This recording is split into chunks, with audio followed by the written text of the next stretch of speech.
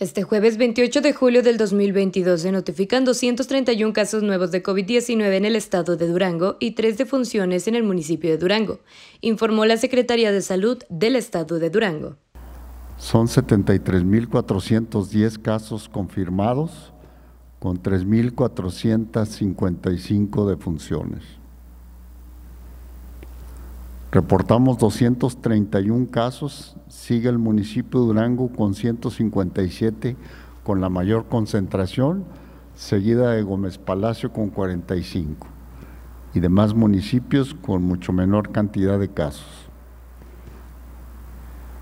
Hoy reportamos tres defunciones, dos en Durango y una en Gómez Palacio, con predominio de mujeres.